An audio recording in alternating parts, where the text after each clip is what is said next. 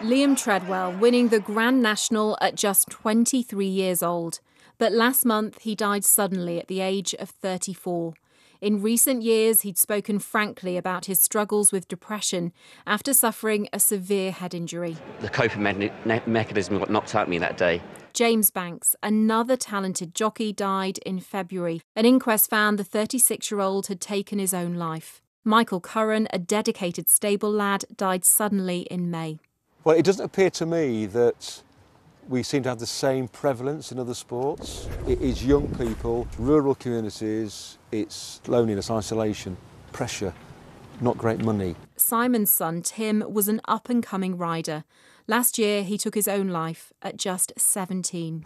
He was. Um, he was a very kind lad. You know, every child gets a bit of an obsession about a hobby or an interest. Well, horses and horse racing was was Tim's, and, and he threw himself he threw himself into it. It was a such a shock that it had happened, you know, uh, you know that kind of death, but it was a massive shock that it was him. In 2017, the industry charity Racing Welfare helped 620 people with their mental health. That rose to 685 in 2018 and 887 in 2019, a rise of 43% in three years. The charity has a 24 hour helpline and provides counselling. One person who knows about the pressure of the sport is former jockey Kevin Tobin.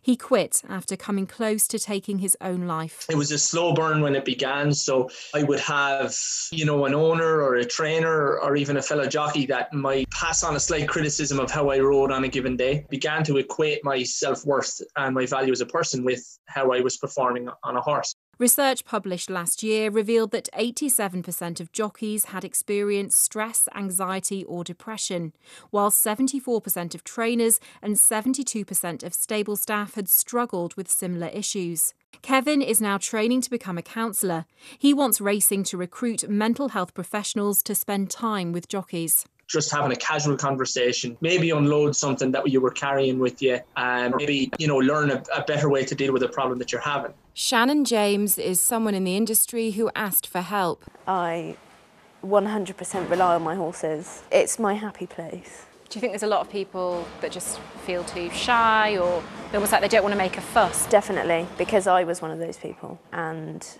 it was suggested that I be put in contact with Racing Welfare, which really did make a difference.